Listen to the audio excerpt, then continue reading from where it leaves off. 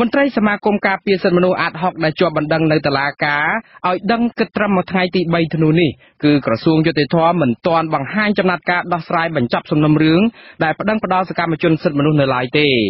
កាលពីពេលថ្មីថ្មីនេះលោកហ៊ុនសែនបានបញ្ជាឲ្យក្រសួងយុតិធម៌និងក្រសួងការងារប្រញាប់ប្រញាល់ដោះស្រាយសំណុំរឿងមេដឹកនាំសហជីពនិងមន្ត្រីអង្គការសង្គមស៊ីវិលដែលមានជាប់បណ្ដឹងនៅក្នុងតុលាការឲ្យបានឆាប់ដើម្បីពួកគេអាចបំពេញការងាររបស់ខ្លួនឲ្យបានពេញលេញឡើងវិញអ្នកស្រីសុជីវីមានសេចក្តីរាយការណ៍ជំវិញព័ត៌មាននេះសំណុំរឿងរបស់មន្ត្រីសមាគមអាត60ទាំង4រូបដែលជាប់បណ្ដឹងនៅតុលាការគឺបានដាក់ប្តឹងទៅសាលាឧទ្ធរតាំងពីខែតុលាមកប៉ុន្តែមិនទាន់មានចំណាត់ការនីតិវិធីនៅឡើយទេអ្នកនាំពាក្យសមាគមការពារសិទ្ធិមនុស្សអាត60លោកសឹងសែនករណាមានប្រសាសន៍ប្រាប់អាស៊ីសេរីនៅព្រឹកថ្ងៃទី2ខែធ្នូថារហូតមកដល់ពេលនេះនៅមិនទាន់មានស្ថាប័នរបបលោកហ៊ុនសែនណាមួយតាក់ទងមកសមាគមអាត60ដើម្បីបញ្ចប់សំណុំរឿងនេះនៅឡើយទេ លោកបន្ថែមថាខាងអាត6នឹងមិនស្នើសុំទៅក្រសួងយុតិធធដើម្បីឲ្យជួយអន្តរាគមន៍លើសំណុំរឿងនេះឡើយព្រោះជាការរំលោភសិទ្ធិតុលាការហើយម្យ៉ាងទៀតសមាគមអាត6យល់ឃើញថាមន្ត្រីរបស់ខ្លួនគ្មានកំហុសទេហើយតុលាការអាចដោះស្រាយបិទបញ្ចប់សំណុំរឿងនេះបានប្រសិនបើតុលាការជំរះក្តីដោយឯករាជ្យនិងមិនពាក់ព័ន្ធរឿងនយោបាយរដ្ឋាភិបាលអាចនឹងពិនិត្យមើលនៅក្នុងសំណុំរឿងរបស់ខាងសមាគមអាត6ដែលយើងបានដាក់ រួចហើយទៅខាងសាលាតដើម្បីធ្វើការសុំទម្លាក់បទចោតនឹងអាចធ្វើការបញ្ចប់ឬក៏ទម្លាក់បទចោតតាមរយៈនីតិវិធីតុលាការទៅព្រោះយើងសមាគមអត់ហុកយើងអត់ចង់ឃើញថាស្ថាប័ននីតិប្រតិបត្តិហ្នឹងគឺប្រើអធិបុលទៅលើស្ថាប័នតុលាការដែលយើងដឹងថាជាស្ថាប័នឯករាជ្យកាលពីឆ្នាំ2016 អ្នកការពីសិទ្ធិមនុស្សសមាគមអាត6ចំនួន4រូបគឺលោកនីសុខាលោកយីសុកសានលោកណៃវងដានិងអ្នកស្រីលឹមមនីព្រមទាំងអគ្គលេខាធិការរងនៃគណៈកម្មាធិការជាតិរៀបចំការបោះឆ្នោតនិងជាអតីតមន្ត្រីជាន់ខ្ពស់សមាគមអាត6ដែរនោះគឺលោកនេះចរិយាបានរងការចោទប្រកាន់ពីបទសោកប៉ាន់សាក់សីនិងសំគំនិតសោកប៉ាន់សាក់សីក្នុងសំណុំរឿងអាស្រូវស្នេហារវាងលោកកឹមសុខាជាអនុប្រធានគណៈបកសង្គ្រោះជាតិនៅពេលនោះនិងអ្នកនាងខុមច័ន្ទដារាទីហៅស្រីមុំ ដែលត្រូវបានអាជ្ញាធរនិងតុលាការចោទប្រកាន់ដាក់ទោសដោយសំអាងទៅលើភ័ស្តុតាងដែលជនអនាមិកលួចថតសម្លេងផ្សព្វផ្សាយតាមបណ្ដាញសង្គម Facebook ជនអនាមិកនោះនិងប្រព័ន្ធឃោសនាដែលស្និទ្ធនឹងរបបក្រុងភ្នំពេញ Fresh News អ្នកទាំង5នាក់ត្រូវបានតុលាការនៃរបបលហ៊ុនសែនឃុំខ្លួនបណ្ដោះអាសន្ននៅក្នុងពន្ធនាគារអស់រយៈពេលជាង1ឆ្នាំមុននឹងត្រូវដោះលែងឲ្យនៅក្រៅឃុំវិញកាលពីចុងខែមិថុនាឆ្នាំ2017 សំណុំរឿងនេះត្រូវផ្អឹបទុកអស់រយៈពេលជាង1ឆ្នាំថែមទៀតមុននឹងត្រូវបានលើកមកជំរះអង្គសេចក្តីនៅថ្ងៃទី27ខែសីហាប៉ុន្តែសវនកម្មនេះមិនអាចដំណើរការបានដោយការគ្រោងទុកឡើយព្រោះអវត្តមានតួអង្គសំខាន់ៗនៅក្នុងសំណុំរឿង។អាស៊ីសេរីមិនអាចតាក់ទងណែនាំពាក្យក្រសួងយុតិធធលោកចិនម៉ាលីនដើម្បីសូមអធិប្បាយជុំវិញរឿងនេះបានទេនៅថ្ងៃទី3ខែធ្នូដោយទូរស័ព្ទពុំមានអ្នកទទួលកាលពីថ្ងៃទី28ខែវិច្ឆិកាលោកហ៊ុនសែន បញ្ជាទៅក្រសួងការងារនិងក្រសួងយុតិធធឲ្យសហការជាមួយតុលាការដោះស្រាយបញ្ចប់សំណុំរឿងមេដឹកនាំសហជីពនិងមន្ត្រីអង្គការសង្គមស៊ីវិលដែលមានបណ្ដឹងជាប់ទៅក្នុងតុលាការឲ្យបានលឿនដើម្បីឲ្យពួកគាត់អាចបំពេញការងាររបស់ខ្លួនបានពេញលេញដោយមិនមានការរិះគន់ថារបបលោករដ្ឋបិទសេរីភាពអង្គការសង្គមស៊ីវិលនិងសហជីពឥឡូវតាមដឹងតឡាការបន្ទាប់ពីរដ្ឋត្រីយុទ្ធតបានធ្វើការទៅ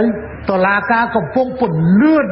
នៃការស៊ើបអង្កេត ដើម្បីបិទបញ្ចប់ការស៊ើបអង្កេតនៅពេលដែលគេបិទបញ្ចប់នៃការស៊ើបអង្កេតតឡាការគេនឹងធ្វើការសន្និដ្ឋានឬមួយគេចាត់ការយកទៅជំរះបើយកទៅជំរះក៏ជំរះអាឡាឬមួយគេទម្លាក់ចោលគេមិនចាត់ការតែម្ដងតម្កល់ទុកមិនចាត់ការដូច្នេះបើតម្កល់ទុកវាមិនចាត់ការវាជាប់កុំឲ្យវាដូចស្ថានភាពដូចសពថ្ងៃទេមេសាជីវគេខ្លះកំពុងតែធ្វើការទៅ នៅក្រោមអធិពលនៃពាក្យបណ្ដឹង នេះវាជារឿងមិនល្អទេទោះជាយ៉ាងនេះក្តីលោកសឹងសានករណាលើកឡើងថាការបញ្ជារបស់លោកហ៊ុនសែននៅពេលនេះគឺជារឿងនយោបាយមិនមែនធ្វើឡើងដើម្បីការផ្ដល់សិទ្ធិសេរីភាពដល់អង្គការសង្គមស៊ីវិលសហជីពនិងប្រជាពលរដ្ឋនោះទេព្រោះអាញាធររបបលោកហ៊ុនសែនបានរដ្ឋបិទសិទ្ធិសេរីភាពពលរដ្ឋជាយូរមកហើយមិនមែនទើបតែមានសម្ពាធពីសហគមន៍អន្តរជាតិបានជាមានការបើកទូលាយសិទ្ធិសេរីភាពនោះទេ ព្រោះការអនុវត្តច្បាប់យើងត្រូវតែយកច្បាប់ជាមូលដ្ឋានជាគោលដើម្បីគោរពឲ្យបានទាំងអស់គ្នាជៀសវាងយើងធ្វើការដោយតែមានច្បាប់ហើយយើងបែរជាជ្រងចាំនៅបទបញ្ជានៅការស្ថានភាពនយោបាយអីប្រែប្រួលអីចឹងអាហ្នឹងវាមិនមែនជារឿងមួយដែល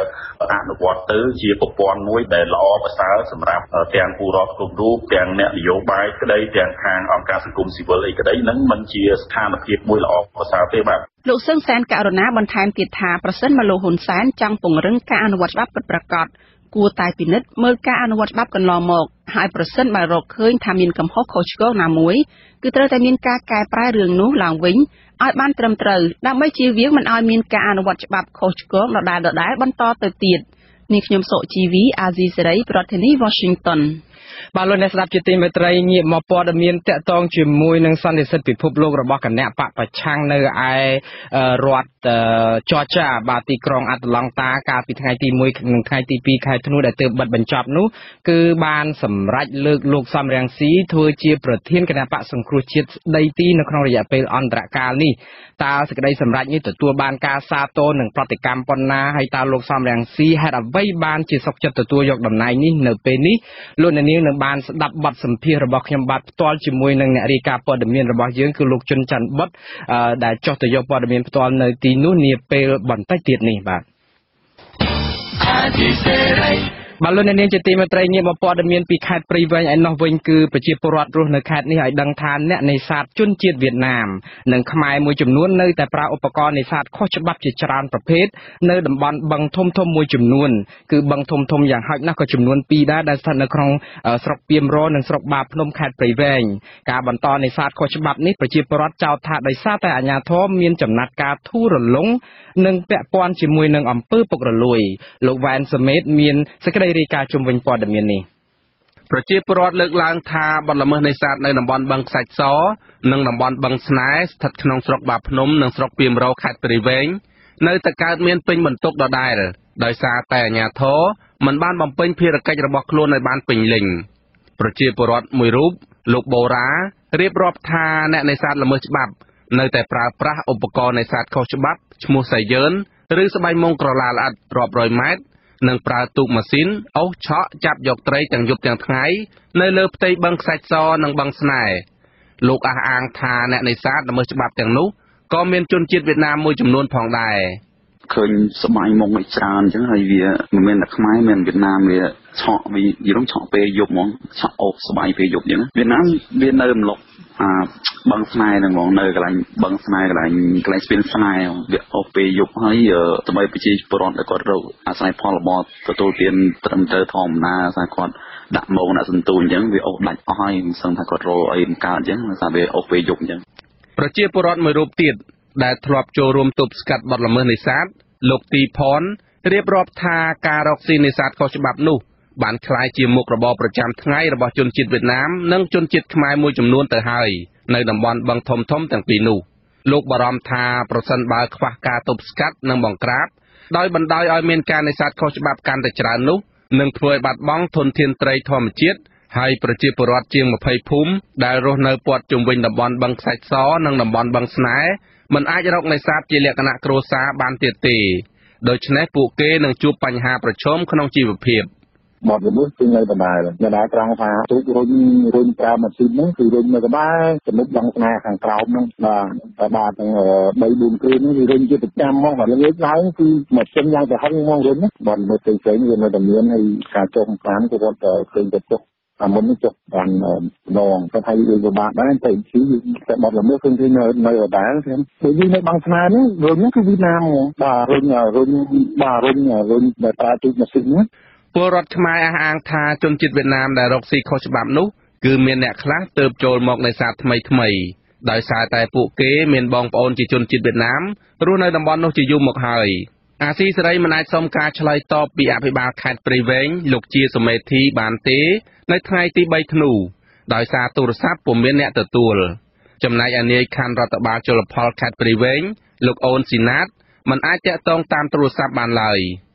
កាលពីចុងខែវិច្ឆិកាលោកអូនស៊ីណាតទទួលស្គាល់ថាពិតជាមានបទល្មើសនេសាទកើតឡើងហូរហែមែនប៉ុន្តែលោកអះអាងថាអាជ្ញាធរជំនាញបានអនុវត្តតាមច្បាប់ ដោយចុះបង្ក្រាបជាបន្តបន្ទាប់រហូតមានការឃាត់ខ្លួនមនុស្សបញ្ជូនទៅតុលាការផ្ដន្ទាទោសដាក់ពន្ធនាគារថែមទៀតផង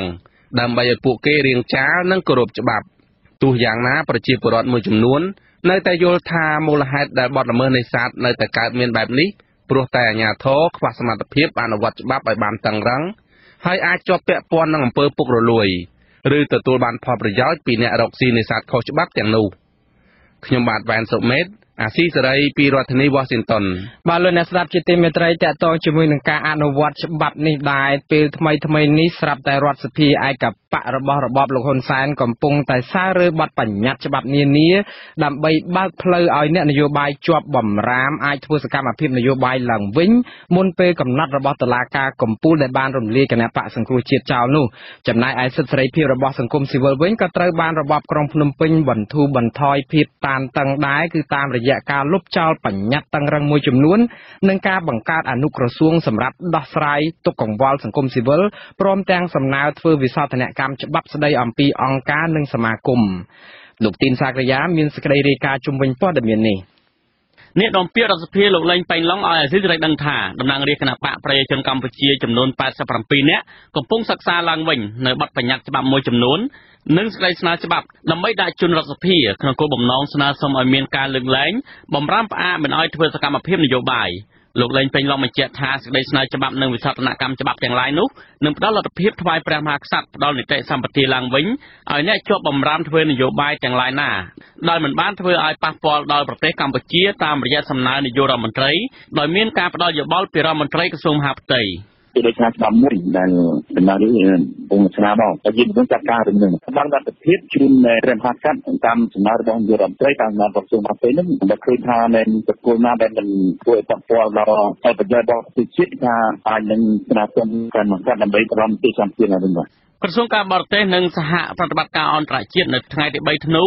ចេញសេចក្តីថ្លែងការណ៍បង្ហាញពីវិធានការរបស់ក្រុងភ្នំពេញក្នុងការធានាពង្រឹងលទ្ធិប្រជាធិបតេយ្យនិងលំហនយោបាយនៅកម្ពុជាក្រសួងការបរទេសបញ្ជាក់ថា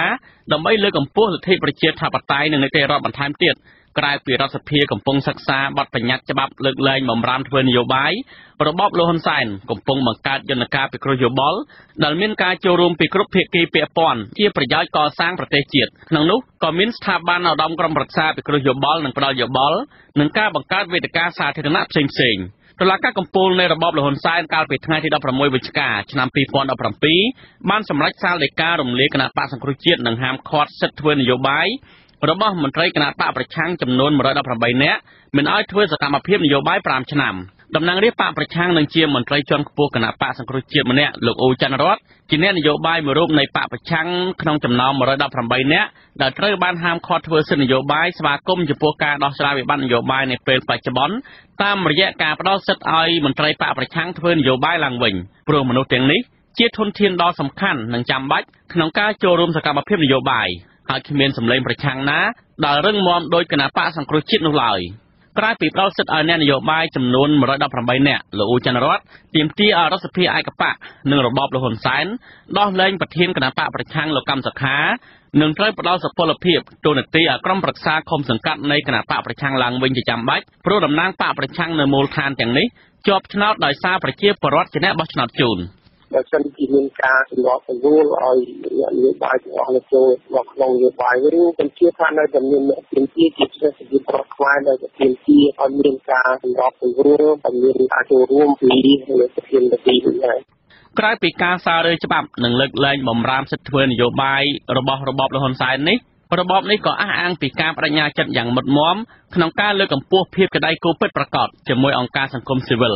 បើទោះបីជារបបនេះធ្លាប់បណ្ដេញអង្គការសង្គមស៊ីវិលចេញពីកម្ពុជាដោយជាការបិទកាសែត The Cambodia Daily វិទ្យុអាស៊ីសេរីនិងចាប់អតីតនាយកព័ត៌មានអាស៊ីសេរីពីររូបដាក់ពន្ធនាគារជាដើមក្រៅពីនេះទៀតរបបនេះចោទប្រកាន់មន្ត្រីសង្គមស៊ីវិលណាដែលហ៊ានរិះគន់នោះថាជាក្រុមធ្វើបដិវត្តពណ៌ជាដើម របបក្រុងភ្នំពេញបញ្ជាក់ថាដើម្បីបង្ហាញពីស្មារតីស្មោះត្រង់ចំពោះភាពជាដៃគូពិតប្រាកដជាមួយសង្គមស៊ីវិលក្រសួងមហាផ្ទៃបានចាប់ផ្ដើមវិធានការសំខាន់សំខាន់ជាច្រើនដូចជាលុបចោលបញ្ញត្តិតម្រូវឲ្យអង្គការសង្គមស៊ីវិលជូនដំណឹងទៅអាជ្ញាធររយៈពេល3ថ្ងៃមុនដើម្បីរៀបចំសកម្មភាពផ្សេងផ្សេងដូចជារៀបចំវេទិកាទៀងទាត់ជាមួយសង្គមស៊ីវិលដើម្បីរៀបចំសកម្មភាពផ្សេងផ្សេងជាដើមក្រសួងមហាផ្ទៃក៏បដិញ្ញាថានឹងរៀបចំវេទិកាទៀងទាត់ជាមួយអង្គការសង្គមស៊ីវិលនិងបង្កើតក្រុមការងារអន្តរក្រសួងដោះស្រាយសំណើទុកកង្វល់របស់សង្គមស៊ីវិលនិងបញ្ហាពាក់ព័ន្ធនឹងច្បាប់ស្តីពីសមាគមអង្គការក្រៅរដ្ឋាភិបាលនិងសំណើវិសោធនកម្មក៏ប៉ុន្តែគេនៅមិនទាន់ឃើញមានការទម្លាក់ចោលការចោទប្រកាន់តាមផ្លូវតុលាការលើអ្នកសារព័ត៌មានសកម្មជនសិទ្ធិមនុស្សមន្ត្រីសហជីពនិងអ្នកនយោបាយនៅឡើយទេមកទល់ពេលនេះទោះជាយ៉ាងនេះក្តីគេមិនទាន់ឃើញមានការទម្លាក់ចោលការចោទប្រកាន់តាមផ្លូវតុលាការលើអ្នកសារព័ត៌មានសកម្មជនសិទ្ធិមនុស្សមន្ត្រីសហជីពនិងអ្នកនយោបាយនៅឡើយទេ អ្នកនាំពាក្យសមាគមសិទ្ធិមនុស្សអាត6លោកសង្សានករណាប្រាប់ថានេះជាកាតព្វកិច្ចរបស់របបលហ៊ុនសែនដែលបានចុះហត្ថលេខាទទួលយកកតិកាសញ្ញាជាច្រើនស្តីពីសិទ្ធិមនុស្សជាមួយអង្គការសហប្រជាជាតិប៉ុន្តែកន្លងមករបបនេះមិនទាន់បានអនុវត្តល្អទេហើយស្ថានភាពការគោរពសិទ្ធិមនុស្សវិញក៏មិនទាន់អនុលោមតាមច្បាប់រដ្ឋធម្មនុញ្ញនិងកតិកាសញ្ញាដែលទទួលស្គាល់ទេគឺអនុវត្តតាមអារម្មណ៍ មន្ត្រីសង្គមស៊ីវិលរូបនេះសង្កេតឃើញថាសេរីភាពសង្គមស៊ីវិលតែងតែរងការរឹតបន្តឹងពេលជិតបោះឆ្នោតហើយបានធូរស្រាលវិញក្រោយពីការរៀបចំព្រឹត្តិការណ៍បោះឆ្នោតរួចរាល់ ចង់ឲ្យឃើញស្ថានភាពទាំងអស់ហ្នឹងគឺមានស្ថិរភាពមិនថាឡើយពេលបោះឆ្នោតមកដល់ក្រោយបោះឆ្នោតមកដល់ហើយយើងអត់ចង់ឃើញឲ្យមានស្ថានភាពរបៀបហ្នឹងដែលធ្វើឲ្យខាតដល់សេរីភាពយើងដែលយើងយល់ថាកំពុងតែល្អអញ្ចឹងស្រាប់តែធ្លាក់មកក្រោះហើយកសាងឡើងទៅវិញអញ្ចឹងវាខាតពេលដំណើរការនៃការគោរពសិទ្ធិមនុស្សឬក៏លទ្ធិប្រជាធិបតេយ្យអញ្ចឹងវាហាក់ដូចជាអត់មានភាពជឿនលឿនទៅមុខ ដោយឡែកនៅមុនពេលក្រសួងការបរទេសចេញសេចក្តីថ្លែងការណ៍កាលពីយប់ថ្ងៃទី2ធ្នូនេះមេដឹកនាំរបបនេះលោកហ៊ុនសែនបានសរសេរនៅក្នុងបណ្ដាញសង្គម Facebook របស់លោកដោយសន្មតថាប្រហែលមានតែលោកតែម្នាក់គត់ជាអ្នកដឹកនាំតាំងពីបុរាណមកដែលមានការអត់ឱនឲ្យគេច្រើនជាងគេលោកហ៊ុនសែនយល់ថាអ្នកក្បត់ជាតិក្នុងសម័យមុនមានតែសេចក្តីស្លាប់ប៉ុណ្ណោះប៉ុន្តែចំពោះលោកវិញតែងតែមានការលើកលែងទោសដល់អ្នកដែលដឹងកំហុសបើទោះជាលោកហ៊ុនសែនអះអាងបែបនេះក្តីសហគមន៍អន្តរជាតិវិញបានប្រមានជាបន្តបន្ទាប់ ឲ្យរបបក្រុងភ្នំពេញឲ្យប្រញាប់ស្ដារស្ថានភាពនយោបាយឡើងវិញពិសេសគឺការបន្ធូរបន្ថយពីការរំលោភសិទ្ធិមនុស្សការបំផ្លាញលទ្ធិប្រជាធិបតេយ្យដើម្បីជៀសផុតពីការដាក់ទណ្ឌកម្ម ប្រធានក្រុមនៃវិភាគវ័យក្មេងកញ្ញាលីសេស្រស់សង្កេតឃើញថាស្ថានភាពចុងក្រោយរបបក្រុងភ្នំពេញហាក់បានបន្ធូរបន្ថយស្ថានភាពនយោបាយក្រោយពីមានសម្ពាធខ្លាំងពីសហគមន៍អន្តរជាតិនៃវិភាគរូបនេះយល់ថាបើសិនជាការបន្ធូរបន្ថយនៅពេលនេះគឺជាឆន្ទៈក្នុងការបើកលំហសិទ្ធិសេរីភាពដោយមិនមានល្បិចបំបាយបំបាក់គណៈបកប្រឆាំងនៅពីក្រោយទេគឺជារឿងល្អសម្រាប់ស្ដារឡើងវិញលទ្ធិប្រជាធិបតេយ្យនៅកម្ពុជាក៏ប៉ុន្តែបើសិនជាឆន្ទៈនេះគ្រាន់តែជាការប្រើល្បិចកលនយោបាយកេងចំណេញនយោបាយ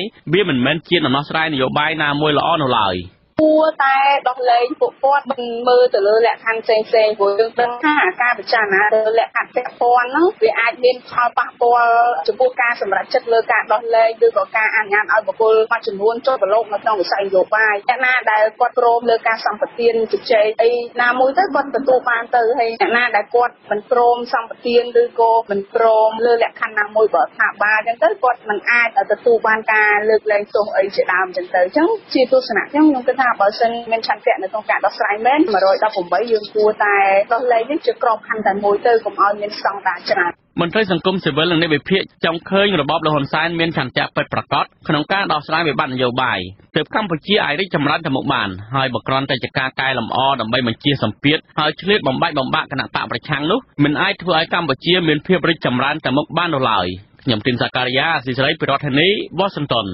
បាទលោកអ្នកនាងជាទីមេត្រីតកតងជាមួយនឹងការប្រញាប់ប្រញាល់ចេញសេចក្តីថ្លែងការណ៍នៅក្នុងការរកដំណោះស្រាយតកតងជាមួយនឹងការរឹតបន្តឹងសង្គមស៊ីវិលក៏ដូចជាខាងគណៈបកនយោបាយនោះគឺធ្វើឡើងក្រោយពីខាងគណៈបកសង្គ្រោះជាតិនៅឯក្រៅប្រទេសនោះរៀបចំសន្និសិទមួយនៅឯទីក្រុងអាត្លង់តារដ្ឋចរចាដែលសម្រេចឲ្យលោកសំរងស៊ីនឹងធ្វើជាប្រធានស្ដីទីរបស់គណៈបកសង្គ្រោះជាតិតំណាងយុវជនគណៈបកសង្គ្រោះជាតិនៅឯប្រទេសណ័រវេសឯនោះហ្នឹងគឺគ្រប់គ្រងការលើកឡើងអឺតកតងជាមួយនឹងចំហដែលខាងសន្និសិទនឹងគឺលើកលោកសំរងស៊ីឲ្យធ្វើជាប្រធាននេះក៏តកតងជាមួយនឹងគ្នានេះគឺយើងមានលោកអឺ អៀចាណាដែលជាសកម្មជនរបស់គណៈបកសង្គ្រោះជាតិមួយរូបដែរដែលលោកទៀមទាឲ្យរបបលោកហ៊ុនសែននឹងដោះលែងលោកកម្មសខាឲ្យមានសេរីភាពឡើងវិញបើសិនជាចង់ដឹងថាសេចក្តីថ្លែងការណ៍របស់ក្រុមរបស់លោកមេធាវីដែលលោកកម្មសខាមិនគ្រប់គ្រងសន្និសិទរបស់គណៈបកសង្គ្រោះជាតិនៅអាមេរិកធ្វើយ៉ាងណានោះបាទចង់ដឹងថាប្រតិកម្មរបស់លោកអៀចាណានឹងមានប៉ុណ្ណាតកតងជាមួយនឹងសេចក្តីសម្រេចរបស់សន្និសិទនៅក្រៅប្រទេសនិងជំហរតកតងជាមួយខ្លឹមសាររបស់មេធាវីរបស់លោកកម្មសខានៅឯប្រទេសកម្ពុជានោះសូមលោកអ្នកនាងស្ដាប់បទសម្ភាសន៍របស់លោកជុនច័ន្ទបុតនិងលោកអៀចន្ទណាអំពីបញ្ហានេះដូចតទៅ។ លោកអ៊ីចនាខ្ញុំបាទសូមជម្រាបសួរបាទសូមជម្រាបសួរលោកជនចិត្តបុតបាទបាទលោកអ៊ីចនាកិច្ចប្រជុំនេះធ្វើត្បិតតែទាំងអស់គ្នាចេញមកពីប្រជុំបិទទ្វារនឹងមុខញញឹមញញែមថានឹងមានលទ្ធផលហើយថានឹងមានជ្រើសរើសប្រធានគណៈបកនឹងលោកសំរងស៊ីនឹងដើម្បីជាដឹកនាំបណ្ដោះអាសន្នឬមួយក៏ដឹកនាំស្ដីទីអីក៏ដោយចុះក៏ប៉ុន្តែមានការរិះគន់សម្បើមណាស់ថាទាំងអស់គ្នាដែលធ្វើនេះគឺផ្ទុយទៅនឹងឆន្ទៈរបស់លោកកឹមសុខាដែលកំពុងតែជាប់ឃុំឃាំងរហូតដល់មានការចេញសារម្ដងជាពីរដងតាមរយៈមេធាវីរបស់លោកហើយថ្ងៃនេះយើងឃើញថាមានការចេញសារពីកូនស្រីរបស់លោកទាំងពីរមានការចេញសារពីមេធាវីរបស់លោកកឹមសុខាទាំង4នាក់នឹងផងតើលោកអ៊ីចនាដែលធ្លាប់តែមានវិភាគនយោបាយផ្ដល់ការផ្ដល់ទស្សនៈអីផ្សេងផ្សេងជុំវិញសភាពការនយោបាយនៅប្រទេសកម្ពុជានេះលោកគិតថាសភាពការដែលកើតឡើងមានអ្នករិះគន់មានមេធាវីរបស់លោកកឹមសុខាចេញមករិះគន់ចេញមកបដិសេធការជួបជុំគ្នានេះតើលោកគិតយ៉ាងណាដែរបាទបាទសូមអរគុណចំពោះសំណួរដ៏ល្អនេះអ្វីដែលយើងកត់សម្គាល់នោះគឺយើងឃើញថាគណៈបកសង្គ្រោះជាតិជាគណៈបកដែលលោកកឹមសុខាខ្លួនលោកបានមានប្រសាសន៍ថាជារបស់ប្រជាពលរដ្ឋខ្មែរកើតមកពីប្រជាពលរដ្ឋខ្មែរនិងបំពេញបេសកកម្មដើម្បីប្រជាពលរដ្ឋខ្មែរដូច្នេះគណៈបកសង្គ្រោះជាតិមិនមែនជាកម្មសិទ្ធិរបស់ក្រុមគ្រួសារនៃបុគ្គលណាមួយទេ មិនមែនជាកម្មសិទ្ធិរបស់លោកកឹមសុខារឹតតែមិនមែនជាកម្មសិទ្ធិរបស់លោកសំរងស៊ីរឹតតែមិនមែនជាកម្មសិទ្ធិរបស់នរណាម្នាក់ដែរគឺជាសមិទ្ធផលដែលកើតចេញមក អំពីប្រជាពលរដ្ឋខ្មែរដែលស្រឡាញ់យុត្តិធម៌ដែលស្រឡាញ់លទ្ធិប្រជាធិបតេយ្យដែលស្នេហាជាតិដែលចង់ឲ្យមាការផ្លាស់ប្ដូរពិតប្រាកដហើយយើងឃើញថាជាង3លាននាក់នៅក្នុងប្រទេសកម្ពុជាដែលចង់បានការផ្លាស់ប្ដូរដោយយុត្តិធម៌ដោយត្រឹមត្រូវនេះទើបជំរុញឲ្យមានការបង្កើតនៅគណៈបកសង្គ្រោះជាតិនេះកើតឡើងពេលនេះប្រធានគណៈបកសង្គ្រោះជាតិលោកកឹមសុខាដែលជាប្រធានផ្លូវការពិតមែននោះតែកំពុងតែជាប់ពន្ធនាគារកំពុងតែជាប់នៅការឃុំឃាំងដែលលោកហ៊ុនសែនបានចាប់បានបង្ខំគ្រប់សពគ្រប់បែបយ៉ាងទាំងអស់ចំពោះលោកដូច្នេះគណៈបកសង្គ្រោះជាតិពេលនេះคล้ายទៅជាគណៈបកដែល ែលអត់ទាន់មានក្បាលម៉ាស៊ីនដឹកនាំពិតប្រាកដទេគឺថាថ្នាក់ដឹកនាំគ្រប់ជាន់ថ្នាក់ទាំងអស់កំពុងតែធ្វើសកម្មភាពដោយអត់មានមេជាអ្នកបញ្ជាដូច្នេះហើយបានជាគណៈបកសង្គ្រោះជាតិសាខានៃគណៈបកសង្គ្រោះជាតិនៅក្រៅប្រទេសទាំងអបាលមានពេញពិភពលោកនេះបាននាំគ្នាជួបជុំធ្វើសន្និសិទនៅទីក្រុងអាត្លង់តារដ្ឋច័រចាសហរដ្ឋអាមេរិកនេះដើម្បីរៀបចំយុទ្ធសាស្ត្រច្បាស់លាស់ធ្វើយ៉ាងម៉េចទៅសង្គ្រោះលោកប្រធានកម្មសខា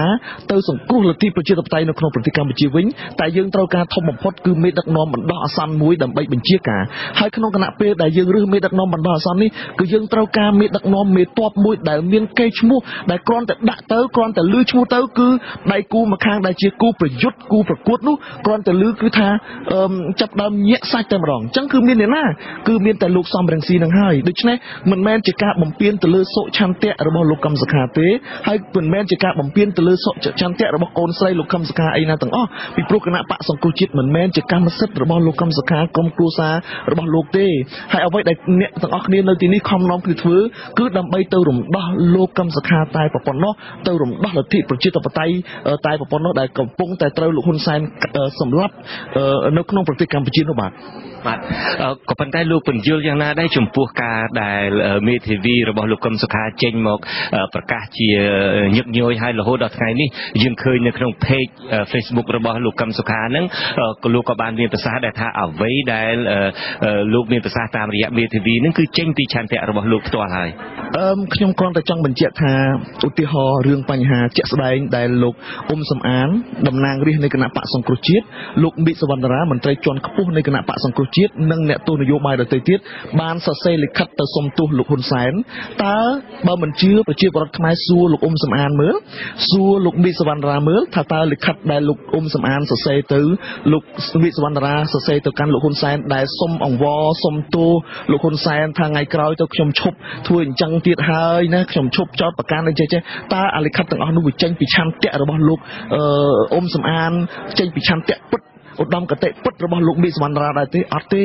គឺចេញមកពីការគៀបសង្កត់ពីព្រោះលោកទាំងពីរពេលនោះកំពុងតែជាប់ឃុំខ្លាយទៅជាចំណាប់ខ្មាំងរបស់លោកហ៊ុនសែនដូច្នេះលោកហ៊ុនសែនចង់បានបំផុតគឺបំបែកគណៈបកសង្គ្រោះជាតិរំលាយនៅក្នុងប្រទេសកម្ពុជាហើយនៅតែមិនខ្ទេចនៅតែមិនរលាយនៅតែរឹងមាំត្រូវតែរកវិធីបំបែកខ្ទេចបំបែកខ្ទីអញ្ចឹងអ្វីដែលលោកហ៊ុនសែនចង់បានបំផុតគឺធ្វើយ៉ាងម៉េចឲ្យប្រជាពលរដ្ឋខ្មែរបាត់ជំនឿឲ្យថ្នាក់ដឹកនាំគ្រប់ជាន់ថ្នាក់នៃគណៈបកសង្គ្រោះជាតិបែកបាក់គ្នាទាំងអស់ហើយចង់បានបំផុតឲ្យលោកកឹមសុខា មានប្រសាសន៍ថាគាត់លែងជាមនុស្សតែមួយជាមួយលោកសំរងស៊ីដូច្នេះក្នុងគណៈពេលដែលលោកកឹមសុខា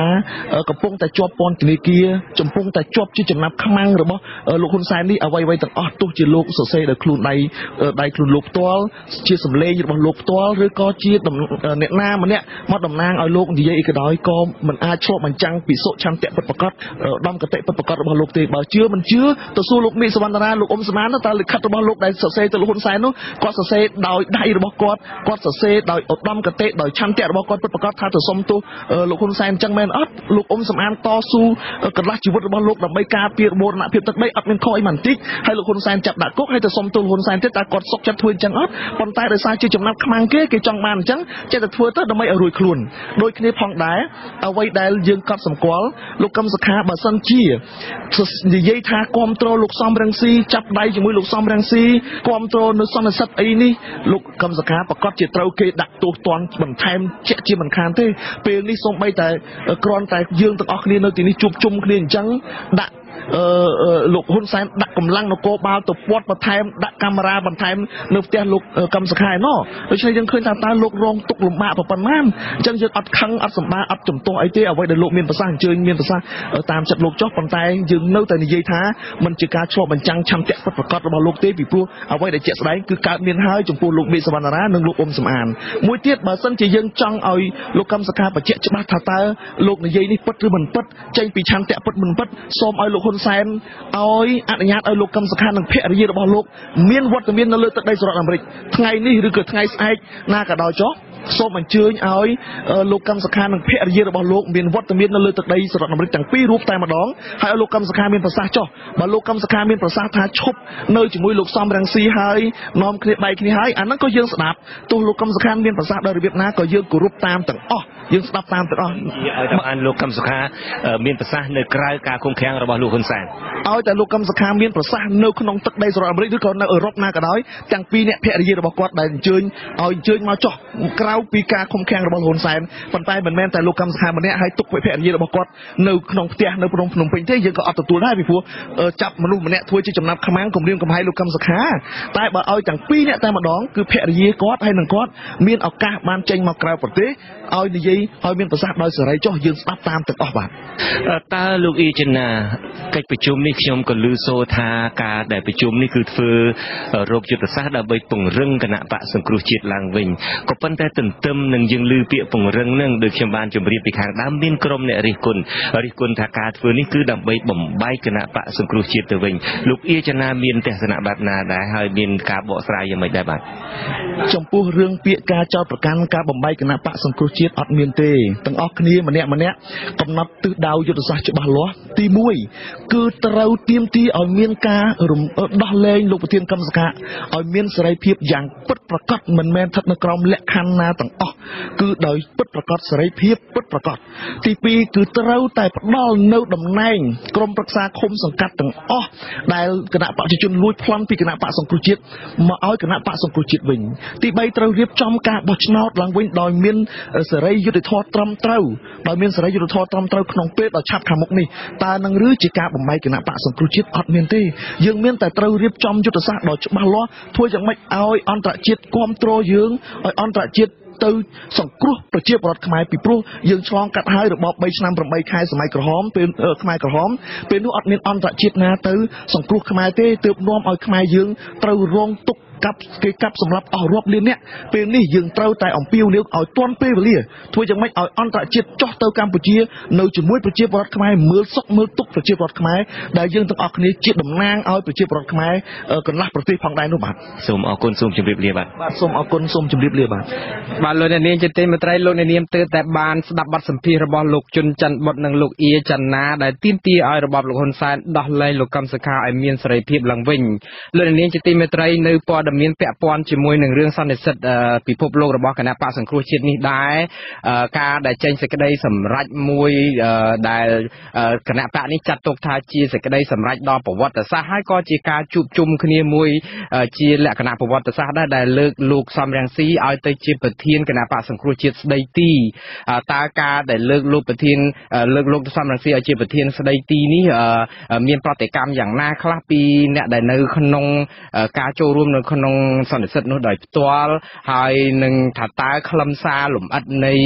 សេចក្តីសម្រេចនោះមានអ្វីខ្លះទៀតដែលលោកសំរងស៊ីត្រូវធ្វើអ្វីខ្លះទៀតនោះខ្ញុំនឹងជម្រាបសួរលោកជុនច័ន្ទបុតដោយផ្ទាល់តែម្ដងដែលលោកនៅពេលនេះបានធ្វើដំណើរដែលចូលទៅយកព័ត៌មាននោះឥឡូវនេះកំពុងតែធ្វើដំណើរនៅតាមផ្លូវទេក៏ប៉ុន្តែលោកបានឆ្លៀតឱកាសផ្ដល់បទសម្ភាសន៍នេះដើម្បីឲ្យយើងដឹងព័ត៌មានលម្អិតអំពី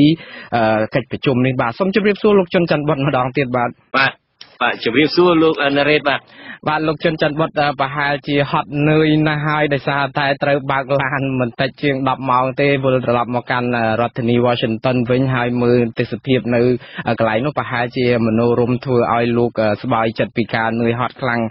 នៅតតងយកព័ត៌មាននោះព្រោះមើលទៅគួរឲ្យអគុយគុណមែនទេសភាពនៅខាងក្រោយលោកលោកជុនច័ន្ទបុតឥឡូវសូមកុំឲ្យខាតពេលគឺយើងចាប់ផ្ដើមតែម្ដងដោយសារទីមួយនេះគឺថាពេលដែលលោកចូលទៅក្នុងកិច្ចប្រជុំនឹងដោយផ្ទាល់ដែលមានអ្នកចូលរួមយ៉ាងច្រើនកកកនេះតើទស្សនវិជ្ជាជារួមនៅពេលដែលមានសេចក្តីសម្រេចបែបនេះប្រតិកម្មយ៉ាងណាដែររបស់អ្នកដែលមកតំណាងសាខាគណៈបកសង្គ្រោះជាតិពីគ្រប់ទិសទីនៃពិភពលោកនេះបាទសូមអញ្ជើញ បាទលោកណារ៉េតហើយនឹងលោកអ្នកតាមដានស្ដាប់តាមដានទស្សនាប្រហែលជាបានឃើញហើយមានមនុស្ស live ច្រើនណាស់នៅពេលដែលមានការធ្វើសន្និសិទរយៈពេល2ថ្ងៃនៅទីក្រុងអាត្លង់តានៃរដ្ឋ Georgia នេះហើយដោយលោកបានជ្រាបហើយតំណាងភាគច្រើនគឺនៅសហរដ្ឋអាមេរិកទីតែម្ដងហើយមានតំណាងមកពីអឺរ៉ុបមានតំណាងមកពីអូស្ត្រាលីមានពី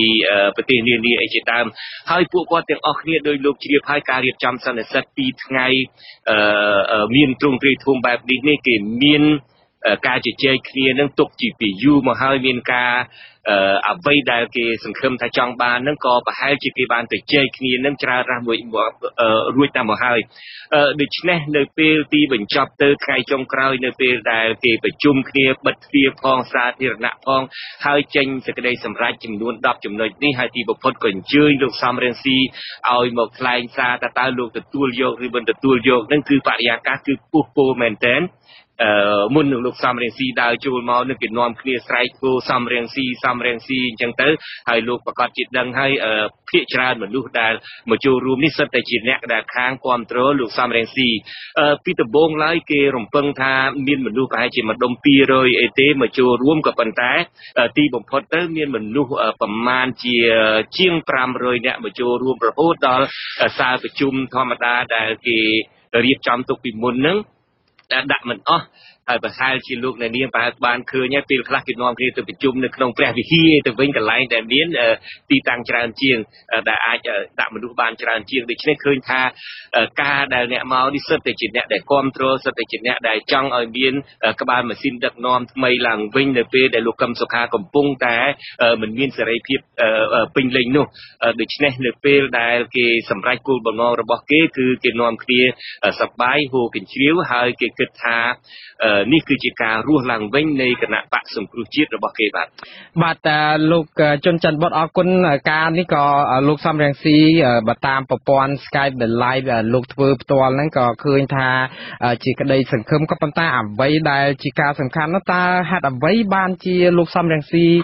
ព្រមទទួលយកតំណែងមួយនេះដែលពីមុននេះលោកបាន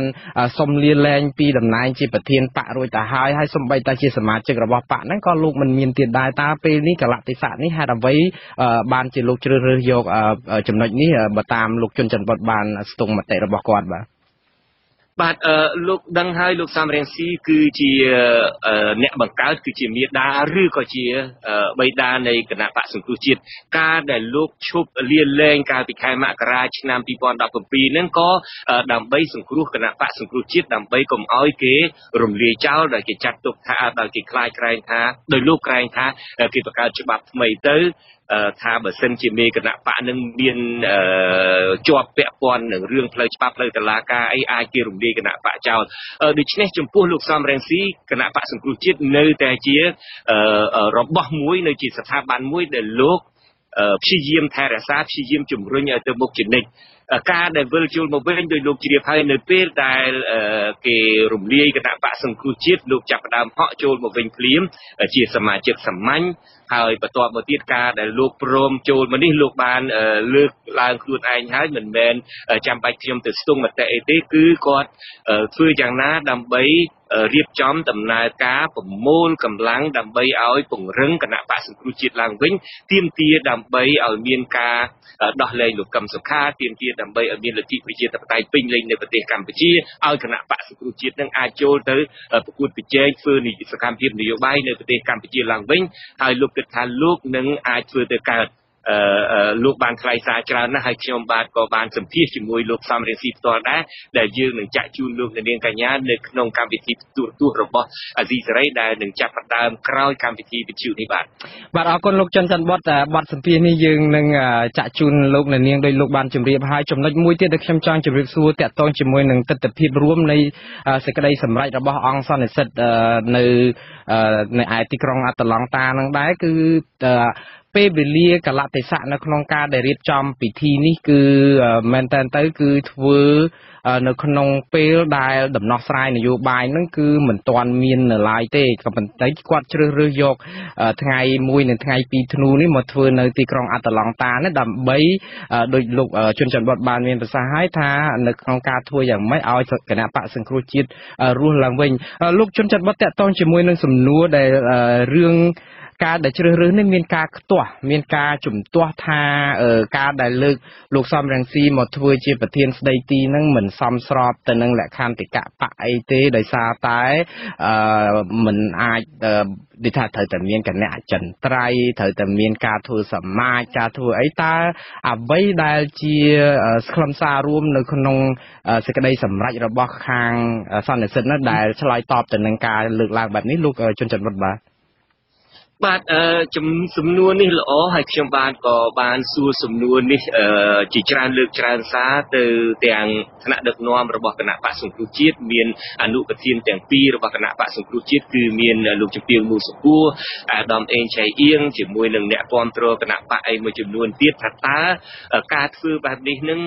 ការប្រជុំបែបនេះការជ្រើសតាំងលោកសំរងស៊ីឲ្យទៅជាប្រធានស្ដីទីនេះតើវាឈរលើមូលដ្ឋានអីតើវាស្របទៅតាមលក្ខន្តិកៈរបស់គណៈបកឬទេចម្លើយពីពួកគាត់គឺស្រដៀងគ្នាចម្លើយរបស់ពួកគាត់ថាប្រទេសកម្ពុជាពេលនេះកំពុងតែនៅក្រោមរបបផ្ដាច់ការគណៈបកសង្គ្រោះជាតិពេលនេះកំពុងតែជួបប្រទះនឹងបញ្ហា ប្រធានអនុប្រធានគណៈកម្មការចំពោះកិច្ចគណៈកម្មការអចិន្ត្រៃយ៍របស់គណៈបកតាំងតែពីពេលរំលាយមកគឺថាពិបាកនឹងតាក់ទងគ្នាបានពិបាកនឹងធ្វើការជាមួយគ្នាអ្នកខ្លះនៅប្រទេសអូស្ត្រាលីអ្នកខ្លះនៅប្រទេសកម្ពុជាបើសិនជាប្រជុំជុំគ្នាតាមប្រព័ន្ធ Skype ឬប្រព័ន្ធ WhatsApp ឬប្រព័ន្ធអីដោយលោកបានដឹងហើយពួកគាត់ខ្លាចក្រែងលោកគេចាប់បានក្នុងការពិភាក្សាគ្នាផ្ទៃក្នុងអីជាដើមដូច្នេះដោយឈរទៅលើស្ថានភាពលំបាកស្ថានភាពបន្ទាន់បែបនេះពួកគាត់គិតថា គិតប្រយោជន៍ជាតិជាធំជាជាងលក្ខន្តិកៈរបស់គណៈបកធ្វើត្បិតតែគេព្យាយាមយ៉ាងណាក៏ដោយចុះធ្វើឲ្យតាមលក្ខន្តិកៈគណៈបកក៏ប៉ុន្តែដែលហេតុថាដូចគេបានជម្រាបជាហោហែតាមការសម្ភាសរបស់ខ្ញុំបាទគឺថាស្ថានភាពនេះគឺជាស្ថានភាពចាំបាច់ជាស្ថានភាពប្រកាសអាសន្នដែលគេចាំបាច់ត្រូវតែធ្វើការអ្វីមួយដែលត្រូវតែឲ្យសម្រេចបានជាជាងនឹងរងចាំឲ្យមានការព្រមព្រៀងគ្នាគ្រប់ភាគីគ្រប់ ថ្នាក់ដឹកនាំទាំងអស់បាទបាទតើលោកជុនច័ន្ទបុតតាមពិតទៅវាជារឿងគប់ជួនមួយដែរនៅពេលដែលសេចក្តីសម្រេចនេះចេញភ្លាមបានតែមួយថ្ងៃគឺរបបលោកហ៊ុនសែនឯណោះក៏បញ្ញាប់បញ្ញាលមានការសម្រួលអីច្រើនយើងមិនដឹងថាការសម្រួលនឹងវាជារឿងដែលជាលទ្ធផលនៃកិច្ចប្រជុំយ៉ាងណានៅឡើយទេគ្រាន់តែថាអ្វីដែលជាការរៀបចំនៅទីនេះគឺដែលអ្វីដែលតំណាងគណៈបកសង្គ្រោះជាតិថាចង់ឲ្យចលនាឬក៏សកម្មភាពគណៈបកសង្គ្រោះជាតិនៅរស់រវើកឡើងវិញនឹងកុំឲ្យរងចាំលទ្ធផលដែលមិនដឹងមានគោលដៅច្បាស់លាស់នេះឥឡូវពួកគាត់ធ្វើដូច្នេះប្រហែលជាចូលទៅក្នុងអ្វីដែលជាការចង់បានរបស់ពួកគាត់ហើយសំណួរខ្ញុំបន្តហ្នឹងតកតងជាមួយនឹងអ្វីដែលជាសាររបស់លោកហ៊ុនសែនសំទោសលោកសំរងស៊ីដែលពេលលោកបានធ្វើជាប្រធានស្ដីទីរបស់គណៈបកសង្គ្រោះជាតិហ្នឹងតើលោកបានសន្យាថានឹងធ្វើអ្វីបន្តទៅទៀត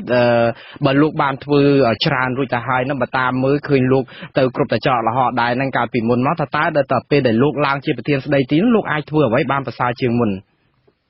បាទសំណួរនេះល្អលោកណារ៉េតតាមពិតខ្ញុំបានសួរលោកច្រើនណាស់ថាតើ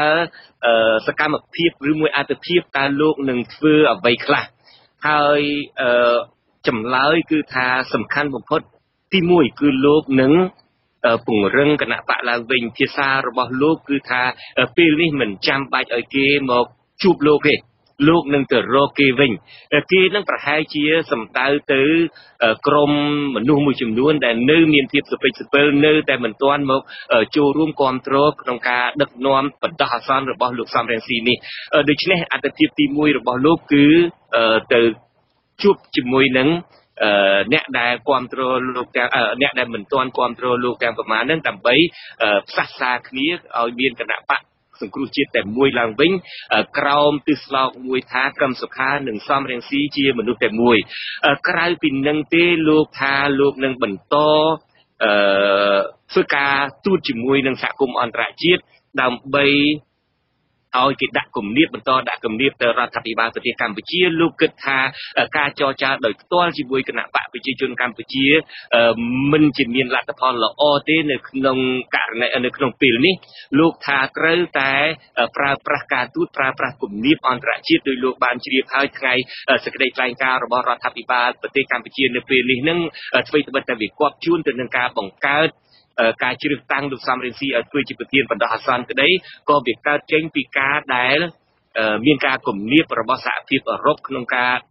អាចលើកផ្ដាច់ប្រព័ន្ធអនុគ្រោះពន្ធ EBA នេះជាដើមដូច្នេះលោកគិតថាសកម្មភាពការទូតលោកនឹងនៅតែបន្តហើយឲ្យខ្លាំងជាងមុនតទៅទៀតករណីជាក់ស្ដែងដូចជាការបញ្ចប់ កិច្ចប្រជុំនៅទីក្រុងអាត្លង់តានេះហើយលោកសំរងស៊ីនឹងធ្វើដំណើរទៅរដ្ឋធានី Washington នៃសហរដ្ឋអាមេរិកដើម្បីជួបអ្នកបុកអ្នកការនៅសហភាពសហរដ្ឋអាមេរិកបន្តទៅទៀតដើម្បីធ្វើយ៉ាងណាដោយសហភាពឲ្យសហរដ្ឋអាមេរិកនឹងបន្តធ្វើ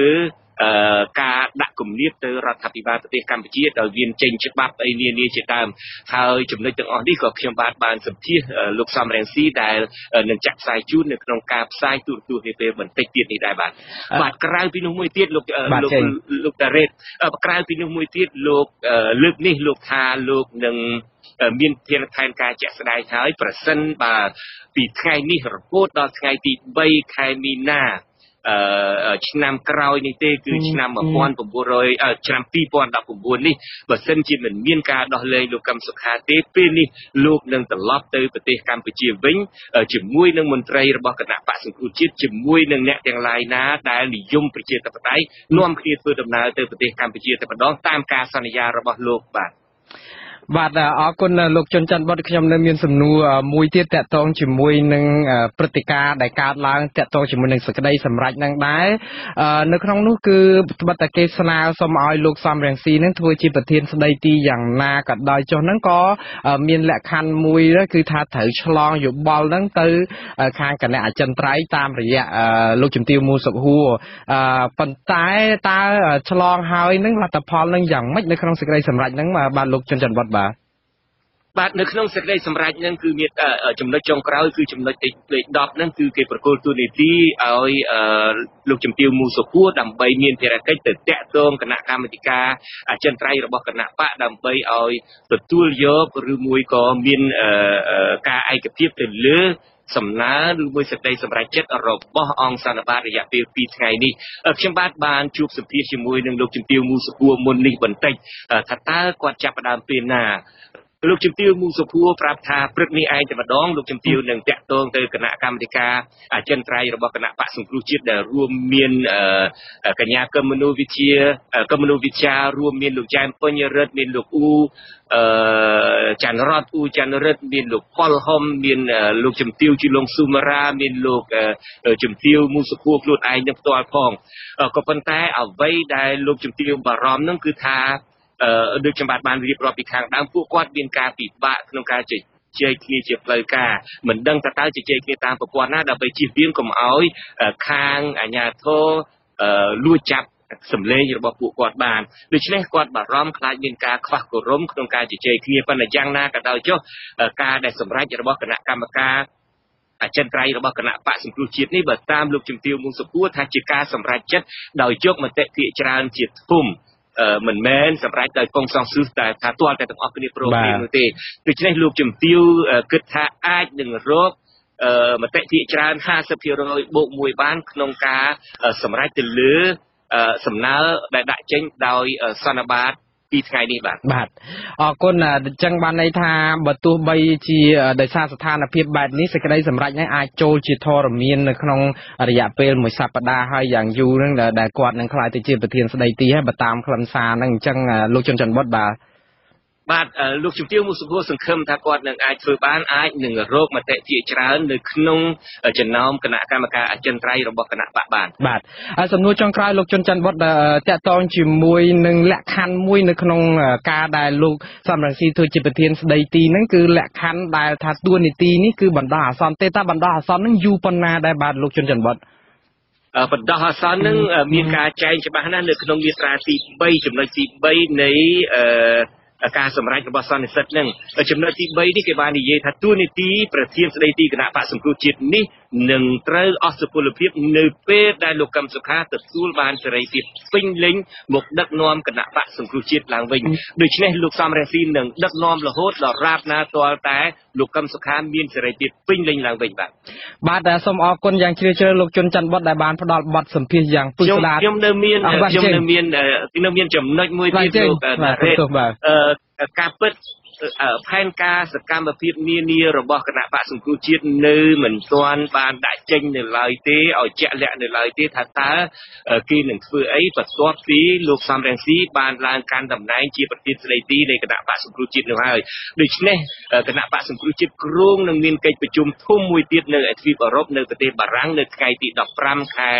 ធ្នូនេះគឺមានន័យថាប្រមាណជាជាង10ថ្ងៃខាងមុខនេះទៀតហើយនៅក្នុងកិច្ចប្រជុំនៅទីក្រុងប៉ារីនៅថ្ងៃទី15ខែធ្នូនេះ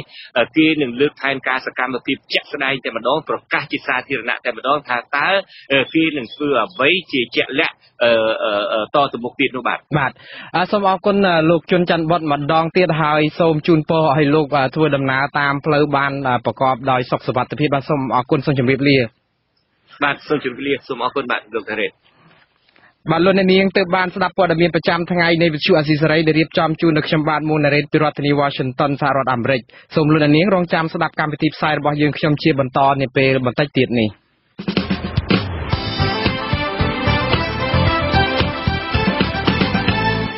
បាទនៅក្នុងការផ្សាយជាបន្តទៅទៀតនេះយើងខ្ញុំមានសេចក្តីរាយការណ៍ពិស្ដារស្ដីអំពីក្រមយុវជនថាអាជ្ញាធរមិនបានអនុវត្តបញ្ជារបស់លោកហ៊ុនសែនរឿងចាក់ដីលុបឆ្នេរប្រែកត្រាញឲ្យមានប្រសិទ្ធភាពឡើយហើយនៅចុងក្រោយគឺព័ត៌មានបញ្ចប់សូមអញ្ជើញលោកនាងស្ដាប់កម្មវិធីផ្សាយរបស់យើងជាបន្តទៅទៀតដោយមេត្រី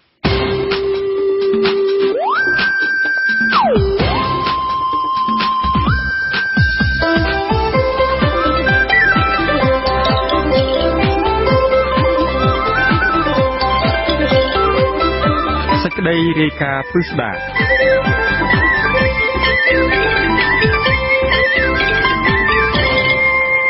លោកអ្នកស្ដាប់ជាទីមេត្រីក្រមយុវជននិងសកម្មជនបរិស្ថានទាមទារឲ្យអាជ្ញាធរបកស្រាយឲ្យបានច្បាស់លាស់ជំវិញចំណាត់ការរបស់ខ្លួនទៅលើករណីចាក់ដីលុបឆ្នេរព្រែកត្រែងបន្ទាប់ពីពួកគេសង្កេតឃើញថាតំបន់នេះមិនទាន់ត្រូវបានកាយដីចេញនិងស្ដារបរិស្ថានឲ្យល្អដូចដើមវិញនៅឡើយទេម្យ៉ាងវិញទៀតពួកគេចង់ឲ្យអាជ្ញាធរអនុវត្តច្បាប់ឲ្យបានត្រឹមត្រូវទៅលើភាគីក្រុមហ៊ុន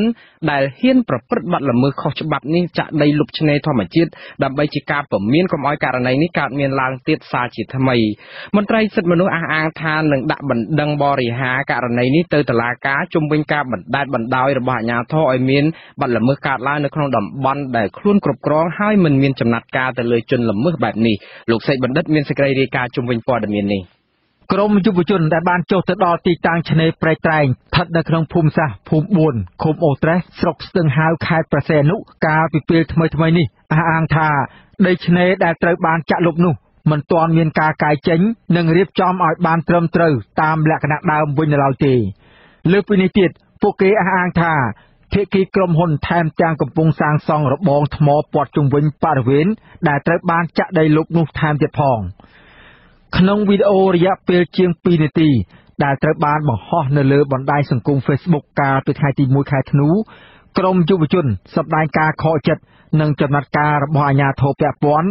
និងបានចាត់ទុកការចាត់វិធានការលើរឿងនេះថាគ្រាន់តែជាការបន្លំភ្នែកសាធារណៈប៉ុណ្ណោះ ពួកគេទាមទារឲ្យអាជ្ញាធរដោះស្រាយរឿងនេះឲ្យបានត្រឹមត្រូវ បើពុំដូច្នោះទេ ពួកគេនឹងបន្តលាតត្រដាង ពីភាពអសកម្មជុំវិញរឿងនេះតទៅទៀតពួកខ្ញុំទាំងអស់គ្នាជាយុវជនពិតជាមានការសោកស្ដាយយ៉ាងខ្លាំងដែលអាជ្ញាធរក្រុងព្រះសីហនុនិងថ្នាក់ដឹកនាំពិតជាអសមត្ថភាពក្នុងការដោះស្រាយជាមួយក្រុមហ៊ុនបច្ចុប្បន្ននេះយើងឃើញថាក្រុមហ៊ុនមួយនេះមិនបានកាយដីចេញទាំងអស់នោះទេថែមទាំងកំពុងតែសាងសង់របងថ្មជុំវិញដីដែលបានចាក់រួចហើយទៀតផងខ្ញុំពិតជាមិនពេញចិត្តចំពោះការចាក់ដីលុបឆ្នេរមួយនេះសោះពួកខ្ញុំសង្ឃឹមថាអាជ្ញាធរគួរតែបញ្ចប់វិធីសាស្ត្រដែលធ្វើការបន្លំភ្នែកសាធារណជនទៀតទៅគួរតែមានវិធីសាស្ត្រចាត់ការតាមផ្លូវច្បាប់ទៅលើក្រុមហ៊ុនមួយនេះដោយធ្វើការកាយដីចេញនិងសម្អាតភ្នែកឲ្យស្រស់ស្អាតឡើងវិញអាស៊ីសេរីនៅពុំទាន់អាចតតងអាជ្ញាធរខេត្តប្រសេនុដើម្បីឆ្លើយតបរឿងនេះបាននៅឡើយទេគិតត្រឹមម៉ោងផ្សាយនេះ ចំណែកអ្នកនាំពាក្យក្រសួងដែនដីនគររូបនីយកម្មនិងសំណង់លោកសេងលូតក៏មិនទាន់អាចតតងបានដូចគ្នាដែរកាលពីថ្ងៃទី2ខែធ្នូដោយលោកមិនលើកទូរស័ព្ទកាលពីខែកញ្ញាឆ្នាំ2018កន្លងទៅមេដឹកនាំរបបក្រុងភ្នំពេញលោកហ៊ុនសែនបានបញ្ជាឲ្យរដ្ឋមន្ត្រីក្រសួងរៀបចំដែនដីនគររូបនីយកម្មនិងសំណង់និងជាប្រធានគណៈកម្មការគ្រប់គ្រងឆ្នេរលោកជាសភារា ចុះត្រួតពិនិត្យសកម្មភាពចាក់ដីរំលោភចូលឆ្នេរសមុទ្រនៅចំណុចឆ្នេរព្រែកតែងដើម្បីឲ្យការយកដីដែលចាក់បំពេញនោះចេញវិញ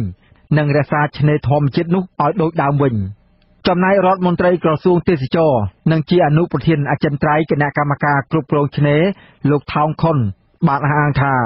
ក្រុមហ៊ុនអភិវឌ្ឍឆ្នេរព្រែកត្រែងនោះកំពុងតែរំលោភបំពានច្បាប់ ហើយគណៈកម្មការគ្រប់គ្រងតំបន់ឆ្នេរកំពុងតែពិនិត្យមើលទស្សនវិជ្ជាច្បាប់តាក់ទងនឹងករណីនេះទោះយ៉ាងណារយៈពេល2ខែកន្លងទៅនេះមន្ត្រីជំនាញមិនទាន់បានបង្ហាញលទ្ធផលនៃការចុះត្រួតពិនិត្យពីករណីនេះនៅឡើយទេហើយក៏មិនទាន់បង្ហាញពីចំណាត់ការតាមផ្លូវច្បាប់យ៉ាងណានៅឡើយទៅលើក្រុមហ៊ុន និងអ្នកពាក់ព័ន្ធទាំងនោះដែរសកម្មជនបរិស្ថានមួយរូបដែលបានចុះទៅដល់ទីតាំងចាក់លុបដីនេះផ្ទាល់គឺកញ្ញា ភេងស្រីសយល់ឃើញថា ក្រុមហ៊ុនទំនងជាមានគម្រោងច្បាស់លាស់ហើយពួកគេនឹងមិនបញ្ឈប់សកម្មភាពរបស់ខ្លួនឡើយពីព្រោះពួកគេកំពុងតែសាងសង់របងព័ទ្ធជុំវិញដីនោះបន្ថែមទៀតកញ្ញាយល់ថាដំណោះស្រាយរបស់អាជ្ញាធរគ្រាន់តែជាការបន្លំភ្នែកប្រជាពលរដ្ឋកុំឲ្យរិះគន់រឿងនេះតែប៉ុណ្ណោះ កញ្ញាស្នើឲ្យអាជ្ញាធរបញ្ជាឲ្យក្រុមហ៊ុនកាយដីនោះចេញមកវិញ និងសម្អាតឆ្នេរនៅកន្លែងនោះឲ្យបានស្អាតដូចដើមវិញព្រមទាំងឲ្យក្រុមហ៊ុនទទួលខុសត្រូវតាមផ្លូវច្បាប់ចំពោះសកម្មភាពរបស់ពួកគេ។ វាមិនមែនជាការដែលត្រូវយោគយល់ទៅលើក្រុមឬក៏ក្រុមហ៊ុនដែលបានរកជំនួបបំពេញច្បាប់ទេអញ្ចឹងទីមួយគឺឲ្យគាត់ហ្នឹងកាយដីចេញវិញគឺសម្អាតឆ្នេរមិនថាមកគាត់ធ្វើតែប៉ុណ្្នឹងទេគឺគាត់ត្រូវទទួលទោសតាមផ្លូវច្បាប់មួយទៀតបើមិនជាគាត់លុបឆ្នេរហើយឲ្យគាត់កាយដីចេញវិញហើយរួចចាប់របស់គាត់វិញអញ្ចឹងមានក្រុមហ៊ុនផ្សេងផ្សេងទៀតអាចយកគំរូតាមនឹងដែរបើសិនជាធ្វើខុសគ្រាន់តែកាយចេញទៅវិញទៅចប់ក្រុមហ៊ុនដែលចាក់ដីលុបឆ្នេរព្រែកត្រែងនោះ គឺជារបស់អ្នកស្រីជឹងសុភាពហៅយាយភូជាភរិយារបស់លោកអុកញ៉ាឡៅមេងឃីនជាសមាជិកព្រឹទ្ធសភារបស់គណៈបកប្រជាជនកម្ពុជា លោកឡាវមិញខិន គឺជាម្ចាស់ក្រុមហ៊ុនស៊ូកាគូដែលបានចាក់ដីលុបបង្កក់ដល់ចម្រងចម្រាស់កាលពីពេលកន្លងទៅអាស៊ីសេរីនៅពុំទាន់អាចតាក់ទងទៅក្រុមហ៊ុនរបស់អ្នកស្រីជឹងសុភីបដែលបានចាក់ដីលុបឆ្នេរព្រៃត្រែងនោះបាននៅឡើយទេគិតត្រឹមម៉ោងផ្សាយនេះ មន្ត្រីកម្មវិធីពង្រឹងសិទ្ធិអំណាចសហគមន៍មូលដ្ឋាន នៃសមាគមអាត6លោកប៉ែនប៊ុនណាថ្លែងថា ការចាក់លុបដីឆ្នេរព្រៃត្រែងនេះគឺជាបទល្មើសឧក្រិដ្ឋជាក់ស្ដែងដែលអាជ្ញាធរត្រូវចាត់វិធានការឲ្យបានតឹងរឹងលោកបន្តថាការខកខានមិនបានចាត់វិធានការលើរឿងនេះគឺជាគំរូអាក្រក់បំផុតនៅក្នុងសង្គមដែលបង្ហាញឲ្យឃើញថាអាជ្ញាធរមិនអនុវត្តច្បាប់ឲ្យបានត្រឹមត្រូវដើម្បីថែរក្សាទ្រព្យសម្បត្តិសាធារណៈរបស់ប្រជាពលរដ្ឋឲ្យបានគង់វង្សនោះឡើយ។ ដោយសារអំពើពុករលួយជាប្រព័ន្ធហ្នឹងហើយដែលធ្វើឲ្យនីតិរដ្ឋភាពនឹងកើតឡើងយ៉ាងធ្ងន់ធ្ងរក្នុងសង្គមជាក់ស្ដែងបទល្មើសឃើញជាក់ស្ដែងហើយបើតាមយើងសិក្សានៅក្នុងច្បាប់ទីពីតំបន់ទុនធានធម្មជាតិដូចជាបទល្មើសអក្រិតទៅហើយចាក់លុបអីចឹងណា អញ្ចឹងវាជាបទល្មើសមួយដែលមន្ត្រីនគរបាលយុតិធធហ្នឹងត្រូវតែរួមគ្នាក្នុងការកសាងសំណុំរឿងហ្នឹងនិយាយមែនតើត្រូវខាត់ខ្លួនជាល្មើសភ្លាមភ្លាមព្រោះវាជាបទល្មើសចាក់ស្ដែងហើយបញ្ជូនទៅស្ថាប័នអាយកាដើម្បីចាត់វិធានការតាមផ្លូវច្បាប់មិនត្រឹងរងចាំបាយការឲ្យគាត់ណាយកលេសចេះចោះអីចឹងថាតិចតួចអីយើងមិនអាចទទួលយកបាន លោកប៉ែនបូណាអះអាងថា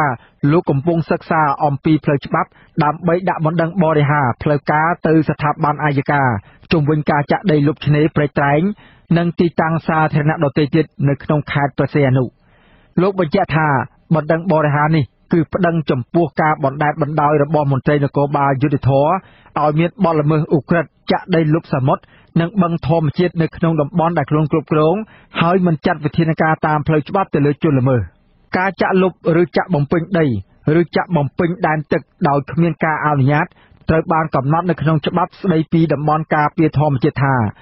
ជាបទល្មើសឧក្រិដ្ឋដែលជនល្មើសនឹងត្រូវផ្ដន្ទាទោសដាក់ពន្ធនាគារពី5ឆ្នាំដល់10ឆ្នាំ និងទោសពិន័យជាប្រាក់ពី15លានរៀលទៅ150លានរៀលច្បាប់នេះក៏បានចែងដែរថាអាជ្ញាធរមានសមត្ថកិច្ចណាដែលសមគំនិតជាមួយនឹងអ្នកប្រព្រឹត្តបទល្មើស ឬជួយសម្រួលដល់ការប្រព្រឹត្តបទល្មើសនោះ ក៏នឹងត្រូវផ្ដន្ទាទោសដោយជនល្មើសដែរ។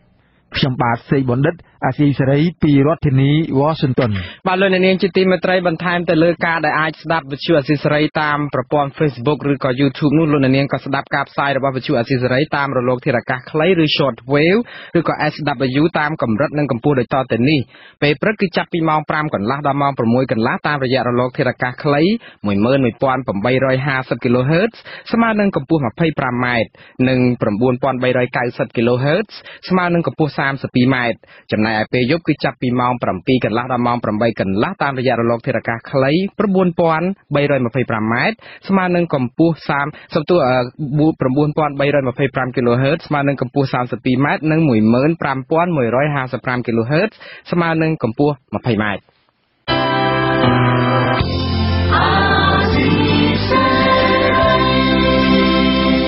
លោកអ្នកស្ដាប់ជាទីមេត្រីជាបន្តទៅទៀតនេះខ្ញុំបាទមួងណារ៉េតសូមជូនព័ត៌មានបញ្ចប់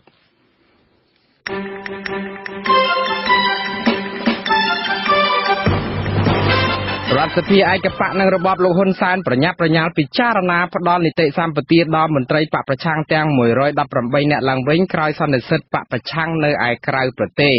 ស្របពេលជាមួយគ្នានេះក៏មានប្រតិកម្មពីខាងសកម្មជនគណបកសង្គ្រោះជាតិនៅក្រៅប្រទេសជាច្រើនដែលគាំទ្រសេចក្តីសម្រេចលើកឲ្យលោកសំរងស៊ីជាប្រធានស្ដីទីគណបកសង្គ្រោះជាតិដើម្បីបន្តសកម្មភាពគណបកសង្គ្រោះជាតិនេះឈានទៅរកការស្ដារសិទ្ធិមនុស្សនិងប្រជាធិបតេយ្យឡើងវិញនៅកម្ពុជាចំណែកឯមន្ត្រីអាត់ហុកដែលរងបណ្ដឹងនៅតុលាការឯណោះមិនទាន់មានថាមិនទាន់មានចំណាត់ការពីតុលាការទេបើទោះបីជាមានបញ្បញ្ជាពីលោកហ៊ុនសែនឲ្យដោះស្រាយបញ្ហាយ៉ាងនេះក្តីហើយជនជាតិវៀតណាមនិងប្រជាពលរដ្ឋខ្មែរនៅតែប្រើឧបករណ៍នេសាទខុសច្បាប់ច្រើននៅឯបឹងស្នេហ៍ខ្សាច់សនិងបឹងស្នេហ៍ខេត្តព្រៃវែង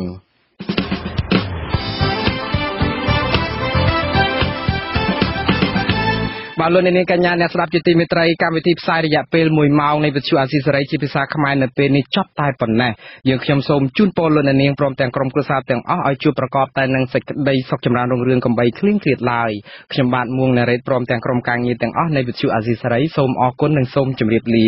រាត្រីសួស្តី